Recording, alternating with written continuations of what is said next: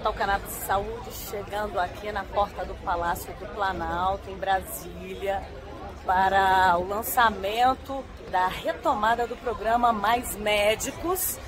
E a ministra Alísia Trindade, a ministra da Saúde, vai estar presente.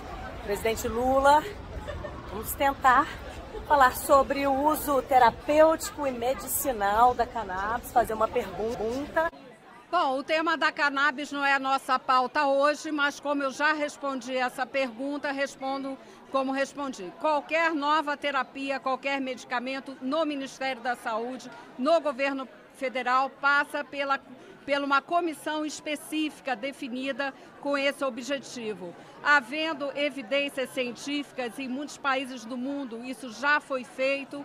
A nossa atitude é olhar essas evidências, avaliar o benefício para a população e avançar com as melhores políticas, seja cannabis medicinal, seja qualquer produto que que verifique a melhoria da condição da população. Mas nós temos regras para isso, não é a ministra que define essa pauta.